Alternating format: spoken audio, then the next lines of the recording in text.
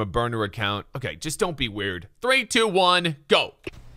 Hey, Troy Daddy. For Christ's sake. I think you should pick Kevin Durant, the snake baby. Look at him. James Harden, uh, or Kyrie Irving. Bye.